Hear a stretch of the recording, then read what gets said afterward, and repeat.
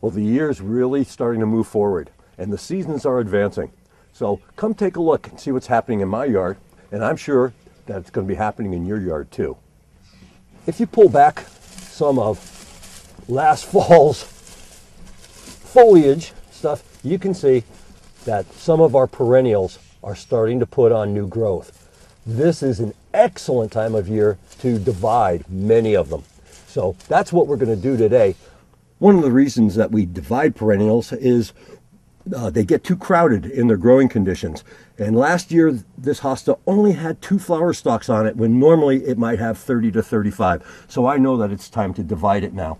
And you can look real carefully and you'll just see some of the purplish shoots starting to form.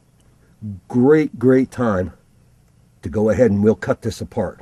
Just simply find nice big pieces and cut the root ball. By getting the old plants down to manageable size, we can now either replant in a pot, we can put them in the ground, or better yet, you can even share your perennials with your friends. This is an important thing to do at the very start of growth of the springtime so that your plants will recover by the time the hot weather hits. This is Stan Mapolsky, the Rogue Gardener.